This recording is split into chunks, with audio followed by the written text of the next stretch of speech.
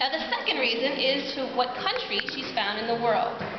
So she can be found all the way down in Argentina, which is in South America. Now in their habitats, in their homes, they get everything that they need to survive. And one of those things is plenty of food to eat. So does anyone have an idea as to what her diet would be? What kind of food would she like to eat? Any ideas? Yeah? Oh, plants, Mm-hmm.